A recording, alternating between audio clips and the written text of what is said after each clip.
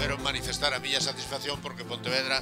sigue sendo a cidade do deporte con esta proba confírmase e vai a ser, digamos que a capital non só de, da provincia de Pontevedra, senón de todo o Estado e parte de Portugal, de toda a Península Ibérica, porque aquí se van a reunir máis de 400 ciclistas e nos hai moito tempo que apostamos polo deporte, non? Como algo que ten que ver con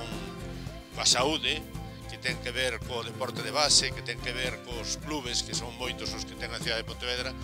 pero tamén que ten que ver coa actividade económica arredor destes eventos deportivos. Eu quero agradecer a participación e a colaboración das institucións eh, para que esta prova pois, eh, sea todo un éxito. Certamente o deporte é eh, imprescindible non? para conseguir unha sociedade cohesionada, unha sociedade saudable, unha sociedade que sepa traballar en equipo. A cidade de Pontevedra certamente é unha grande referencia en todo o que ten que ver con promover grandes eventos deportivos que ademais tamén ten un enorme poder de atracción de persoas que nos veñen a visitar e dende logo todo o que ten que ver co mundo do deporte feminino. Eu Quero aplaudir moitísimo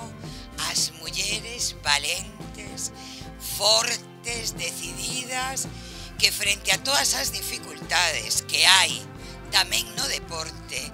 elas non se poñen límites, se poñen de pé, dan un paso cara adiante e compiten.